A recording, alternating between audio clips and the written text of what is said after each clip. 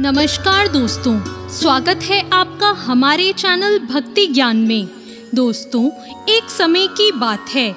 एक गाँव में एक गरीब ब्राह्मण रहा करता था।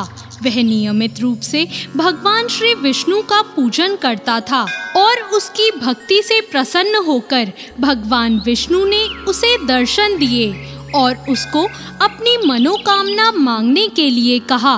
ब्राह्मण ने कहा मैं चाहता हूँ कि लक्ष्मी जी का निवास मेरे घर में हो जाए।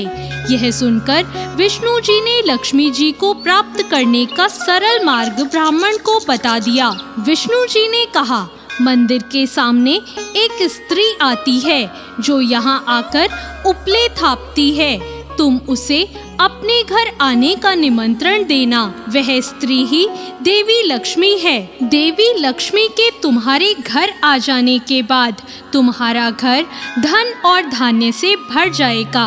यह कहकर विष्णु जी चले गए। अगले दिन सुबह चार बजे ही ब्राह्मण मंदिर के सामने जाकर बैठ गया।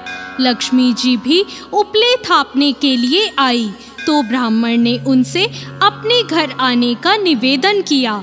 ब्राह्मण की बात सुनकर लक्ष्मी जी समझ गई कि यह सब विष्णु जी के कहने से ही हुआ है। लक्ष्मी जी ने ब्राह्मण से कहा, तुम महालक्ष्मी व्रत करो।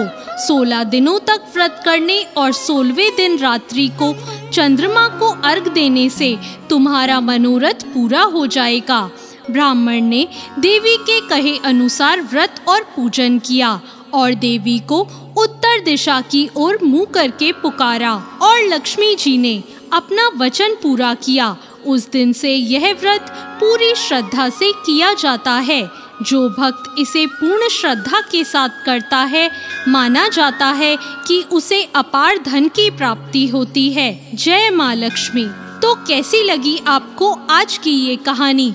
ऐसी और नई कहानियों के लिए हमारे चैनल भक्ति ज्ञान को तुरंत सब्सक्राइब करें। धन्यवाद।